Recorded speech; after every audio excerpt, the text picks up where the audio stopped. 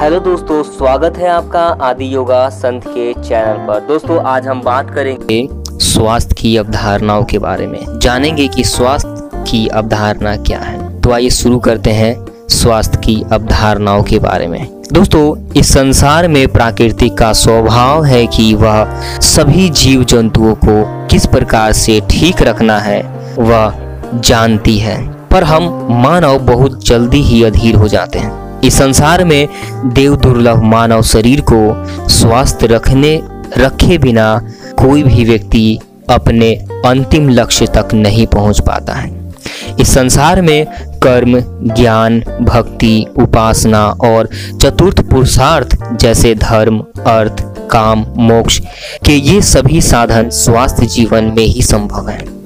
लेकिन आज जीवन की भाग दौड़ और विलासिता या इंद्रियों के सुख के पीछे इंसान अंधा होकर के दौड़ रहा है तथा अप्राकृतिक आहार विहार, नकारात्मक सोच विचार के कारण मानसिक तनाव व बीमारियों का शिकार बनता जा रहा है तथा इन सभी रोगों को स्वयं ही बढ़ावा दे रहा है।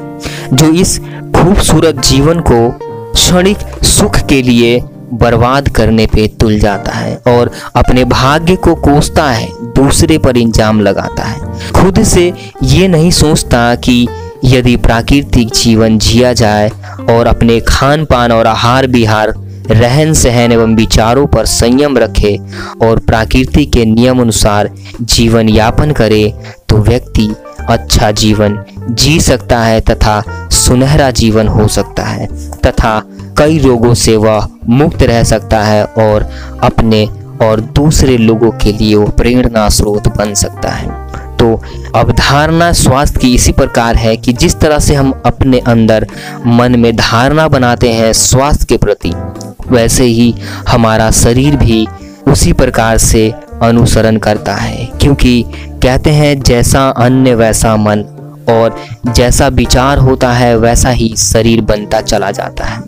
और हम कई रोगों को गलत समझ बैठते हैं और उन रोगों के बारे में जानने की कोशिश नहीं करते हैं और असमय ही अपना जीवन नष्ट करने पे तुल जाते हैं। सबसे पहले हमें अपने रोगों के बारे में जानना चाहिए। यदि आपको कोई रोग हुआ है तो आप ये सोचिए कि आपको ये रोग क्यों हुआ है। इसके पीछे कारण क्या है? और पहले आपको यह रोग क्यों नहीं हुआ था और अब क्यों हुआ है? यदि आप अपने बारे में जानने लग जाएँगे, सोचने लग जाएँगे और अपने रोग, अपने शरीर और स्वास्थ्य के प्रति सचेत हो जाएँगे। तो ज़ाहिर सी बात है कि आप किसी भी रोग से मुक्त रह सकते हैं। तो दोस्तों, इस प्रकार आप अपने स्वास्थ्य को अच्छे से बनाइए और समझिए तथा जानिए कि आखिर इसका कारण क्या है? इस रोग के क्या कारण है? उस कारण को ठीक कीजिए, ना कि उस रोग को ठीक कीजिए। तो दोस्तों, यदि यह जानकारी आपको अच्छी लगी हो तो इस चैनल को लाइक कीजिए, शेयर कीजिए एंड कमेंट्स कीजिए। और यदि आप इस चैनल पर नए हैं तो इस चैनल को सब्सक्राइब कर लीजिए तथा ऑल नोटिफिकेशन घंटी दबा लीजिए। मिलते हैं अगली वीडियो में नई जानकारी के साथ।